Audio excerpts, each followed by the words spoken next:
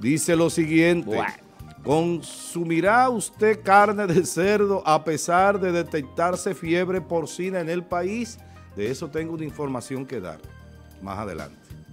Así es que háganos el feedback, 829-451-3381, nuestra vía de comunicación a través de la red social WhatsApp. Claro.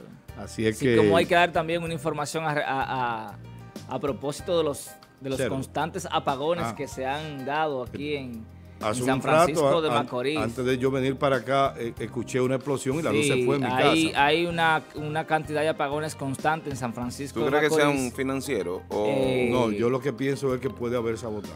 Bueno. Porque he ido, que han explotado mucho. No, tú eh, sabes que yo tengo una información que la tengo aquí. ¿Qué es, lo que, qué es lo que puede haber? Puede, puede ser sabotaje. Como el de Laila. Exacto. Mira, no, hay una... Sí, porque yo te voy a decir una cosa. ¿Por qué, han, por qué se han dañado tanto? No, hay tiempo? una... Hay un problema No, en, el, no, en, en, en- en en- Bonao se está, Mm. se está reparando una, una subestación. Parece ser que eso llevó, según un audio que se transmitió a través de las redes sociales de un eh, encargado de esa área. y- Bien, y muy un- bien. Y un déficit grandísimo. Vamos que todos los a- días crece más. Y Vamos aquí no a- estamos pagando la luz. Vamos a continuar con el contenido del programa. El Ministerio de Agricultura informó que los resultados de las 389 muestras pertenecientes a cerdos criados en granja y lo de crianza de traspatio enviadas al laboratorio del Centro de Enfermedad Animal Plum Island de los Estados Unidos indican la presencia de la fiebre porcina africana en una reducida población de cerdos de crianza de traspatio de las provincias Sánchez, Ramírez y Montecristi. Que tengo Las el dato de que autoridades no canadienses han decidido aumentar sus controles de los vuelos procedentes del Caribe como medida para prevenir la entrada en el país de la peste porcina africana tras la detección de un brote en la República Dominicana. El gobierno de Puerto Rico instó a las personas que viajan a República Dominicana a evitar la compra de alimentos de cerdo y las visitas a granja de esa nación, luego de que se confirmara un brote de peste porcina africana en varias regiones dominicanas. La cartera agropecuaria a través de la Dirección de Sanidad Animal ha dispuesto las siguientes medidas de carácter preventivo. Prohibición de la movilización de cerdos vivos y matados desde y hacia la provincia Sánchez Ramírez y Montecristi, la limpieza y desinfección de los lugares afectados con brigadas del Ministerio de Agricultura y el levantamiento epidemi- epidemiológi- epidemiológico periódico en las provincias afectadas. Esa es la información. Vamos a ver, Francis. Bueno, eh, es cíclico. Nosotros tenemos lamentablemente en nuestro país una especie de, de condición anémica propia del dominicano en cuanto a la dejadez. Cuando se habla de controles fitosanitarios en las naciones organizadas, son cuestiones que no se relajan nunca porque son cuestiones, eh, incluso Estados Unidos te, incautan lo que tú estés transportando, aunque sea en poca cantidad, y te pone una multa de 800 dólares para que te duela. En República Dominicana se relaja todo. Nosotros hacemos controles cuando tenemos encima la, la situación. Pero según datos de una fuente muy cercana y que tiene que ver con agricultura y un vecino nuestro que hace unos un mes atrás lo veía en un vehículo eh, que entraba y salía y digo, bueno, pues te dieron un vehículo nuevo y dice, no, que tenemos una situación hace un mes atrás ¿eh? y estamos caminando hacia el sur, hacia el noreste, a la línea noroeste, a Montecristi para acá, y que en Cotuí ellos prácticamente no hay ya los cerdos, que incluso se le hizo una subvención por cerditos a los criadores de 800 pesos por cada cerdo y que van a, cuando ya, eh, ya ahora mismo está Cotuí, no hay cerdo, es lo que tengo entendido. Pero también el funcionario me dijo, mira, nosotros hemos estado haciendo el levantamiento y le hemos ido a inventariar los cerdos, sacrificándolo para el consumo humano no hay problema, dice. Y que la única situación que han encontrado, que se han contado 100 eh, cerditos o 200, hay una parte que no aparece. ¿Cómo así que no aparece? Que el mismo productor le esconde o lo ha vendido para adelante, aparte de los 800 pesos que le han dado. hay una parte ahí que nosotros no somos deshonestos. El dominicano no puede, cuando se tiene una situación de esta magnitud de, salud, de salud, eh, y se le está dando asistencia por el Estado para controlar la... la es el monitor que me está dando feedback. Para controlar la situación de la fiebre porcina identificada.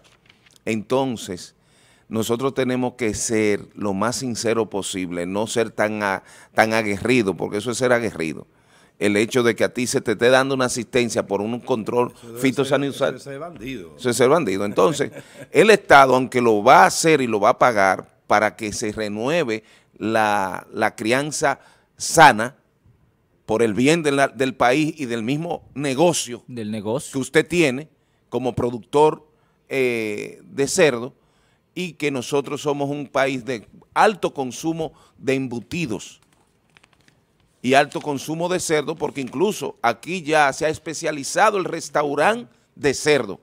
Ustedes sabían que ese es otra, otro punto que hay que tomar en cuenta. Tenemos el cerdito, la que sí o qué, eh, cerdito light. Es decir, aquí se ha... cerdo volador. Se, ha volador. se ha instituido restaurante exclusivamente de chicharrón. Sí, hay ese cerdo. Sí, ¿eh? Entonces, para mí me preocupa la relación... tiene un problema existencial. Sí. Cerdito volador. Sí. Entonces, señores, el consumo, entiendo que no hay tal peligro, que cada, esa, cada vez que aparece se dan estas situaciones, pero, pero, ¿qué tiempo tenemos que no se está vacunando, que agricultura no le está dando la asistencia a los productores? porque tengo entendido otra información, porque yo estuve el fin de semana en contacto agrícola. Mm. Sí, para poder saber qué es lo que está pasando. Y además que generó que el presidente, en su lugar, el ministro, Hipólito Mejía, todos han aparecido comiendo cerdo para demostrarle a la población de que no hay tal problema en el país. Es ser muy aguerrido también porque ellos, el hecho que ellos coman ese cerdo no, no garantiza, digo yo, lo que se debe de garantizar. Que se debe garantizar. Ahí está el yo me, comí mi, yo, me comí mi chuleta ayer. Ah, buenísimo. Entonces, eso... Voy a explicar, y voy a explicar por qué. estuviste en contacto Y voy a explicar por qué. Y otra gente estuvo explicar por qué. sí, porque... Muy bien. Bueno. Pero esperamos que se corrija y que las vacunas y la asistencia a los productores no se relaje. Por eso es que te digo, y por eso empecé mi comentario, que los controles sanitarios para países organizados no se relajan nunca. En el momento más de, más relajación que tú puedas sentir cuando vas a viajar, te hacen tirar lo que tú tengas en un zafacón y además, obviamente que en un zafacón, cuando se trata de este tipo de, de carnes y cosas vivas, eh, de, animales eh, que se llevan en porciones pequeñas, guardados en qué sé yo cuánto. Eso tiene una situación de 800 dólares. Bien. Adelante, Yelian. Miren, eh, con relación a eso, yo acabo de decir, ¿verdad?, que yo me comí ayer mi, mi chuleta, pero yo, lo, yo voy a decir por qué me la comí, porque yo no soy de la gente que hace la cosa porque sí y ya. No. Miren, eh, con relación a la peste porcina africana o la fiebre porcina africana, que es la que está afectando a los cerdos de la República Dominicana actualmente, el doctor Bauta Roja, estamos hablando de un médico, ¿verdad? Eh, así como también Rafael Vidó Núñez, director de Sanidad de la Dirección General de Ganadería, Así como también, porque eh, cuando yo lo dijeron, yo dije, déjame ver si le creo a, estos políticos dominicanos, porque es un problema, tú ves, creerlo al, político dominicano como que me dio un problema, y entonces salí a investigar. Y efectivamente, el Servicio de Inspección de Sanidad Animal y Vegetal del Departamento de, Agricultura de Estados Unidos, para la gente que le gusta lo, de afuera, el complejo de Bacanagariz, eh, así como también el Instituto Federal Alemán para la Evaluación de, la, de los Riesgos con relación a agricultura han dicho, han afirmado, de acuerdo a estudios científicos, que la fiebre que está afectando a los cerdos no es transmitible a los humanos. Repito, esa enfermedad que tienen esos cerdos no es transmitible a los humanos, por tanto no representa ningún peligro para la salud humana. Y en, y en función de eso, usted puede comer su carne de cerdo con tranquilidad. Lo que pasa es que también en este aspecto hay que entender la cultura dominicana. El dominicano no le gusta comer algo que sabe que está enfermo porque está estigmatizado. ¿Mm? Ya, de que tú sabes que algo está enfermo, como que te da, vamos a decirlo así en buen término dominicano, te da como asco, ¿verdad? Y entonces tú lo rechazas. Pero para aquella persona que le gusta la carne de cerdo, que es una proteína, ¿verdad? Pueden comerla con tranquilidad. Por eso yo decía que ayer yo me comí mi chuleta. Sí. Tranquilo pero yo había leído esto eh, y naturalmente ya puedo con tranquilidad comerla porque si me lo están asegurando varias agencias de investigación con relación a, lo que tiene que ver con los animales y te dicen que no es una enfermedad zoonótica, es decir, no se transmite a los humanos, que no representa ningún tipo de peligro para los humanos, entonces no veo la razón de por qué no consumirla. Ahora bien, ¿por qué eh, Estados Unidos prohíbe la entrada? Para la gente que dice, bueno, pero Estados Unidos prohibió la entrada de la carne de cerdo, lo que ah, pasa es, es precisamente para que no afecte su producción y entonces se le convierte en un problema, porque la mayoría de cerdo de la República Dominicana, por lo menos un gran porcentaje, y ojalá pudiéramos comunicarnos con un productor eh, porcino, sí, de cerdo, eh, se va a ver afectada. Y entonces eso que está sucediendo en la República Dominicana, ningún país lo quiere porque que los productores eso le provoca un problema y al país en sí mismo. Entonces... Es económico. Por, eso es, un problema económico. E, ese es un problema económico y de salud animal. Correctamente. Básicamente es por una cuestión de salud animal porque afecta a la producción. Y entonces a la gente, eh, eh, veo muy bien del gobierno que está asumiendo eh, con los la renovación. mata a los cerdos, yo te, lo voy a comprar al precio que está en el mercado. Y se vende en el mercado normal. Y a propósito de lo que dice el compañero Francis, dejen ese tigueraje. También. Si usted se lo compra, no, no lo quiera no le cargue más. otro lado. Pues, es que aquí la gente... Sí, es, un lío, pero... Siempre anda buscando...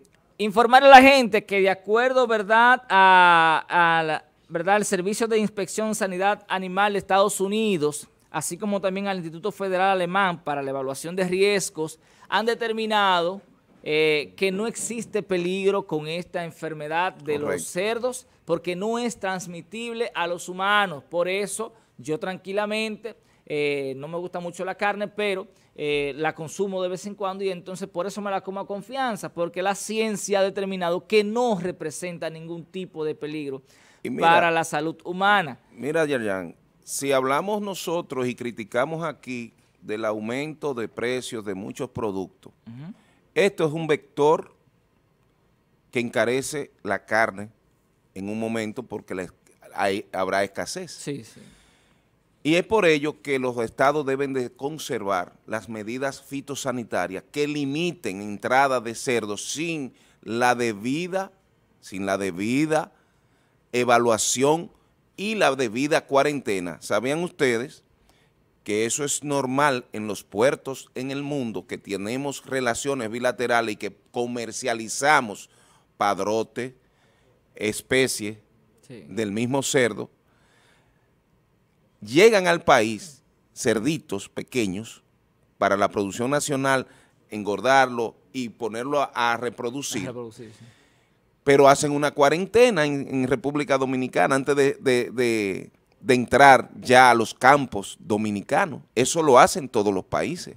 Esa cuarentena es de vigilancia con los eh, médicos veterinarios nuestros del país, de, ganadería y de agricultura y salud pública que están ahí, haciéndole la inspección durante, durante el periodo que le llamamos cuarentena, pudiera ser no 40 días, sino 20 o 25.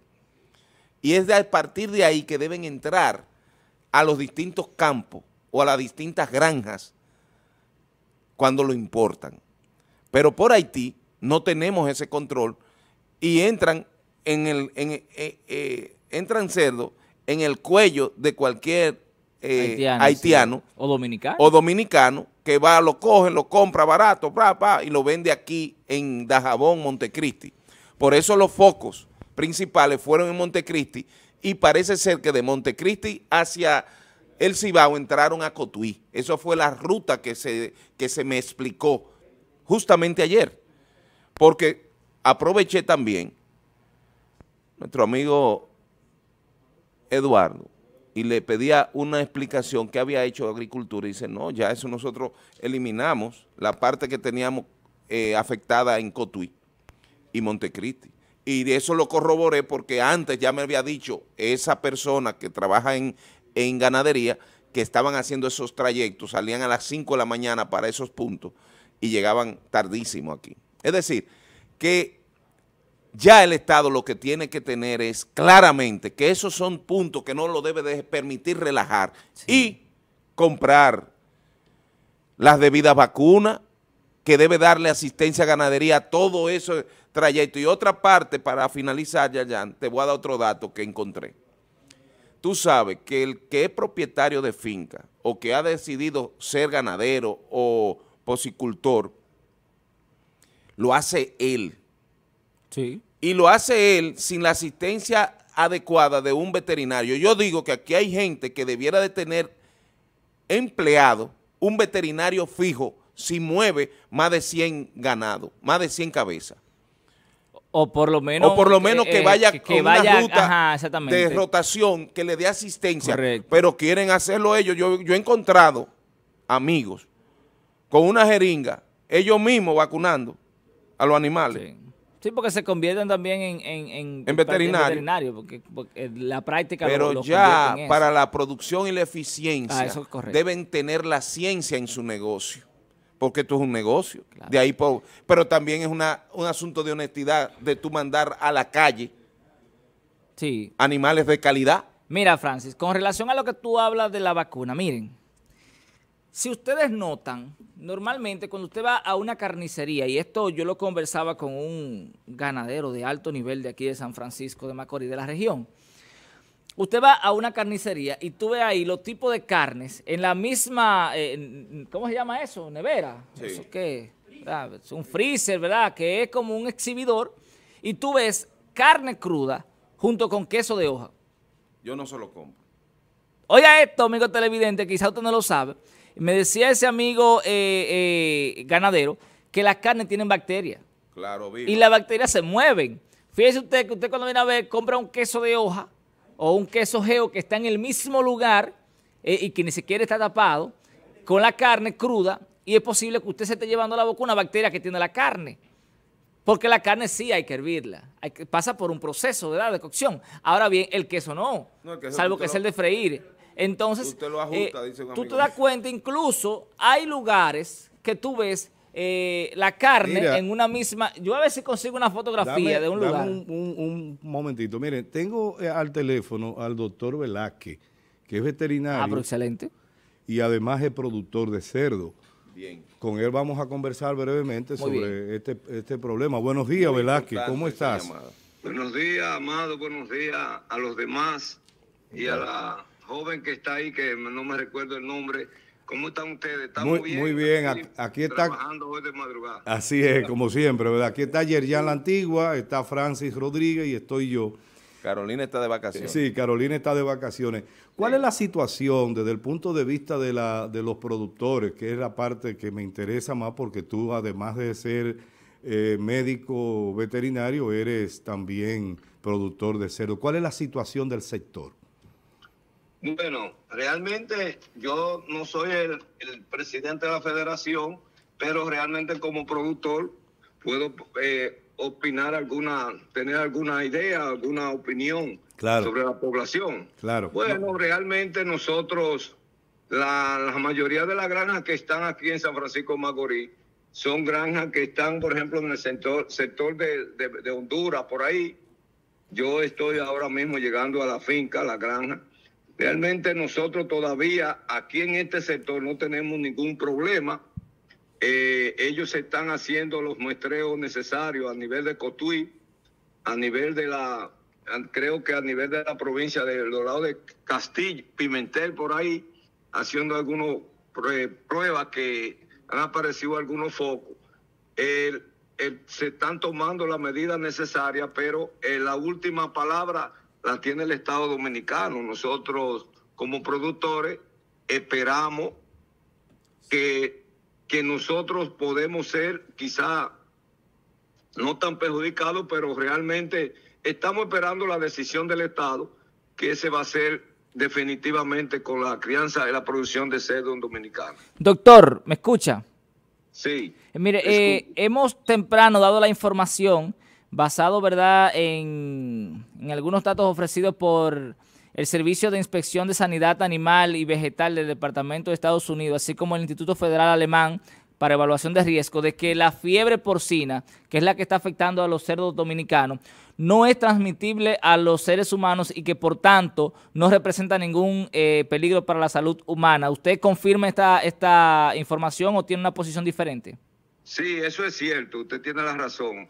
La fiebre porcina africana, la PPA, que realmente está en China, en otros países europeos, eso no tiene ningún efecto secundario ni dañino para el humano. Eso no es una enfermedad zoonótica que se transmite del humano hacia el animal o del animal hacia el humano. No es zoonótica. El, el consumidor puede tener la confianza y consumir la carne de cerdo en cualquier momento. Claro está, todas las, todas las carnes debe de ser cocida, pero no tiene ningún problema con el humano.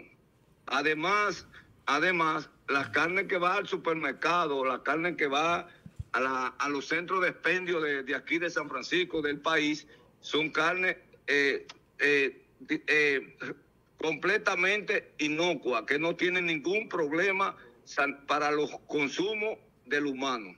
Ok. Francis te va a preguntar algo. Hermano, como escucharlo, gracias por la comunicación. Francis Rodríguez de este lado. Eh, la, el asunto de, de, acción por el gobierno, ¿es cierto que no se está vacunando de, o no se ha comprado vacuna en, los, en el último año en el país? Y si ha requerido el sector de esas vacunas o ustedes lo están haciendo de forma privada? Bueno, realmente eh, o esa es otra enfermedad que, que es diferente a la, a la PPA, es la fiebre porcina clásica, que es la que tenemos aquí en el país y en otros países, pero realmente esa tiene vacuna. La fiebre porcina clásica tiene vacuna. Entonces, esa vacuna se trae a través de, del Estado y, en la parte privada, que se llama la Federación eh, Nacional de Porcicultores. Pero nosotros la ponemos privada, a nivel privada, y también yeah. el Estado la subsidia a nivel de las granjas pequeñas, yeah. de los productores pequeños. Entonces nosotros sí estamos poniendo la vacuna. Realmente no sé en la parte de los pequeños cómo ha, ha sido el problema de, de, la aplicación de ese tipo de vacuna. Doctor, permítame eh, una pregunta quizá un poquitico fuera del tema con relación a, a, lo que es ya la exposición de las carnes en las carnicerías, valga la redundancia. Hemos visto que en un mismo freezer, ¿verdad?, de exhibición se coloca carne cruda, eh, por ejemplo, con queso de hoja, incluso he visto hasta funda de galleta en el mismo lugar donde está, sí, ¿verdad?, donde está colocada la carne. ¿Esa práctica es correcta? Bueno, realmente no sé la, la modalidad que tiene el, el supermercado o el, o el, colmado, pero yo entiendo que cada cosa debe estar en un lugar. ¿Entiendes? Porque si tú vas a consumir un queso, un queso, y tú lo ves que tiene otro, otro color, tú quizás no tienes el sabor o no tiene la, no tiene la confianza quizás de consumirlo. Principalmente el queso o una galletita que viene en una funda, yo creo que debe estar todo, todas cosas en un esquema diferente, en un departamento diferente. Gracias. No deben de estar juntos los, los, los, productos, principalmente el queso, la carne, deben de estar en un lugar diferente a cada uno, separado. Bien. Sí, aquí le tiran pollo a los refrescos. Bueno, bueno, en freezer. ¿Verdad que muchas gracias, hermano? Como siempre, un placer saber de ti, escucharte. Muchas gracias. Gracias. Bueno, yo creo que con esta, esta responder cualquier pregunta. Muchas gracias. al país. Muchas gracias. Bien, Gracias, gracias, a ti. Bye bye. Yo creo, Amado, buen que día. con esta, este análisis, estas observaciones que se, se han hecho en razón de la crisis que ha presentado el sector porcino, hemos dado con al traste con la preocupación de que si se podía consumir o no. Se puede consumir, no causa ningún tipo de efecto, no pueden Mira, y además está garantizado, yo estoy claro que los productores de esta zona son muy específicos Mira. y muy cuidadosos. A mí me dijeron ayer, eh, alguien que conoce el sector, me dijo que en realidad no es solamente en Montecristi y Cotuí, que ya en, en Pimentel se ha detectado la fiebre. Sí, O sea, están trabajando en eso. Fíjate que, que Velázquez eh, eh, mencionó, aunque claro, que se estaban haciendo pruebas en Pimentel y es porque aparentemente ha sido detectada. De todas maneras, la fiebre porcina es, una, es un virus que hay que enfrentar y como acaba de explicar el doctor Velázquez, no tiene esos riesgos para la ¿Sabe salud una humana. cosa que y que nosotros... solo afecta a la producción. Exactamente. No afecta a los O humanos. sea, lo- Mira, lo- los sabes- cerditos se mueren, Sí. ¿verdad? Sí, la- y se pierde lo que ya se había invertido. Porque De hecho, tengo entendido que hoy en la mañana, ya vamos a ver si podemos contactar al, para la, será para mañana o pasado, Mm, eh, al director de Ganadería. no, de sanidad, Sanidad. animal de la de agricultura, muy bien. porque tengo entendido que hoy se van a hacer unos sacrificios en la Ok. zona y si es así es porque la fiebre está aquí. Pues miren, hay otra parte que nosotros nunca mencionamos aquí, la importancia de esos controles. Me refiero a una figura que existe en la ley municipal y se tiene con muy buen carácter en lo que son los trasiegos de animales. el, el apresador. El apresador es uno, pero el que da el certifico es el alcaide, Ah, sí, alcalde. alcalde. Es decir, los alcaldes de cada zona deben de tener un reconocimiento de que ellos tienen fe pública para garantizar que de sus territorios los animales que salgan a la venta hacia las distintas carnicerías o hacia distintas fincas vayan con las certificaciones sanitarios correctos. Esperamos que los que tenemos en la zona sepan leer, escribir y que comprendan la importancia que tienen tener nosotros y por eso existe en la ley esa figura, ese funcionario que tiene fe pública, inclusive hace de fiscalizador cuando no hay fiscales en los sitios eh, Sí, claro, donde claro. ellos están. Correcto. Bien. Pero eh, repetir, escúchame, Amado, repetir que no, es la, que, la, que la carne, ¿verdad? Eh, de un cerdo que esté afectado de la fiebre no le hace daño al consumo humano. Bien. Eh, Eso está más que claro. Exactamente. Muy bien, señores. ¿Consumirá usted carne de cerdo a pesar de detectarse fiebre porcina en el país? Claro que Eso sí. dice la pregunta del Come día. chuleta es hoy. Una, un- Chuleta. Háganos el feedback. es una pregunta que tiene como inducción o eh, No, lo que pasa es que quizá la producción no tenía la información Hoy- que nosotros le estamos dando de último minuto, de verdad, de que realmente no hace daño. Y ya la desglosamos Aunque también 8.20. la producción se sume, eh, ¿verdad?, a, a la cultura. Ah, Hay sí. gente que no le gusta comer cosas enfermas. Háganos el feedback, señores.